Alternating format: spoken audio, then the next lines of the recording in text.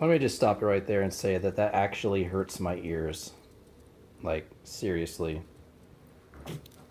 3S battery, not even hitting half of an amp. Pretty awesome.